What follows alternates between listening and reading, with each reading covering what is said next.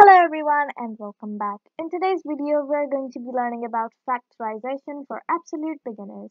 You don't need any um qualifications for this except just knowing plus, minus, multiplication and division and knowing your numbers wills will um and nothing else you need. This is by NCERT revision so let's get straight into it. Now what is a prime number? Before knowing anything about factorization you need to know about prime numbers. Now what is a prime number? A number that can be divided by 1 and itself. So there are two numbers, that 1 and itself. Examples can be 2, 2 can be divided by itself and by 1. 3, 3 can be divided by itself and 1.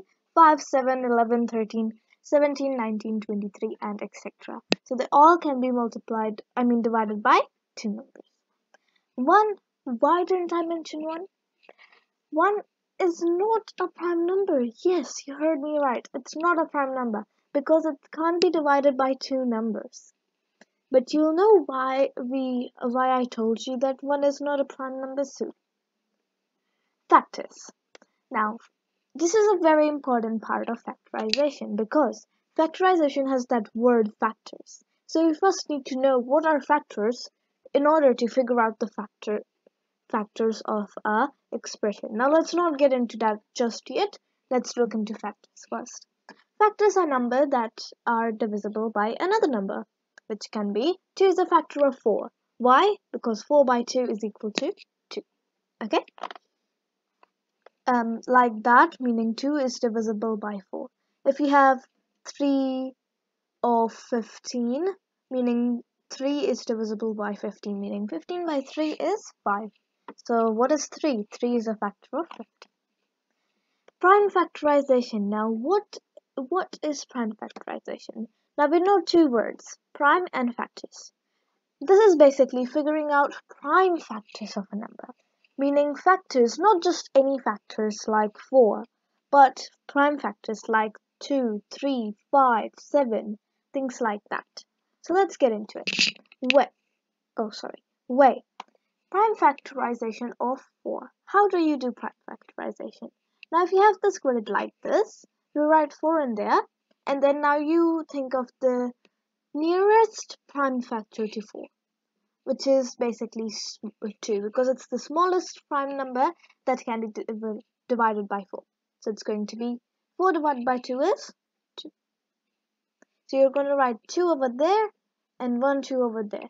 Now you can keep going from here because you you want to end at zero, 1 which is our ending point.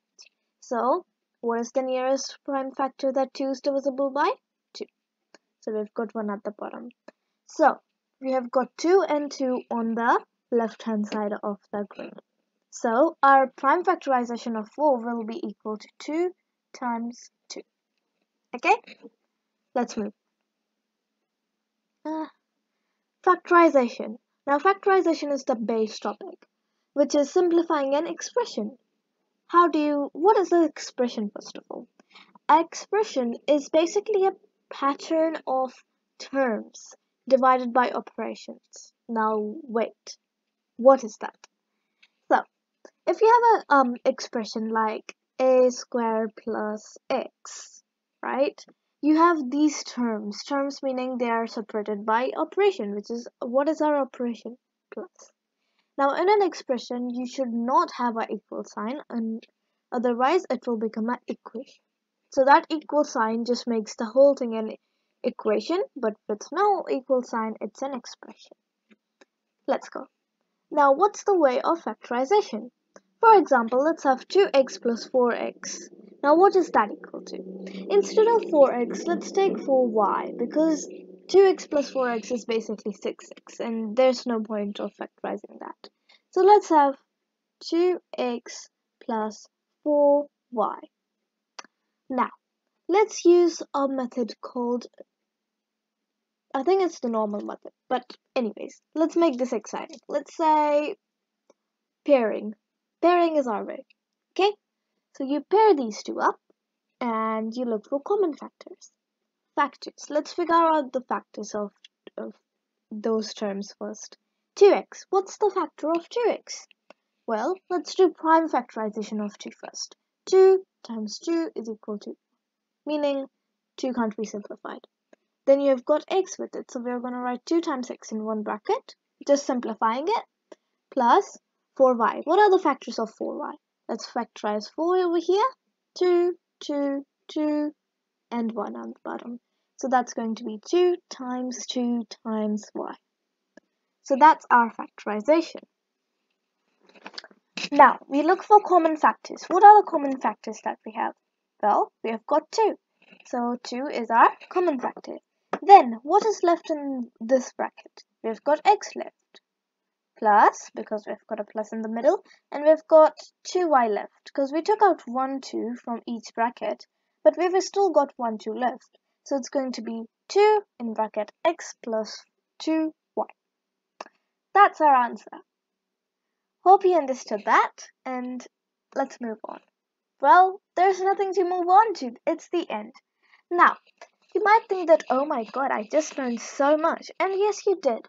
But just saying that I've made more video on factorization, which is more of, which explains more ways because this is just an intro to factorization. This is where things are going to build on. So there are more ways to do factorization and maybe you might need to do it in different expressions, you know, maybe there are different types of numbers and all that. You can look at class 8 factorization, class 9 polynomials. So class 8 chapter 14 is going to be factorization and chap class 9 chapter 2 has polynomials and it has factorization of polynomials. So do go and check out those videos. Till then, um, it's the end. Hope you understood everything. Hope you learned something new and I'll see you in the next video. Till then, take care and bye-bye.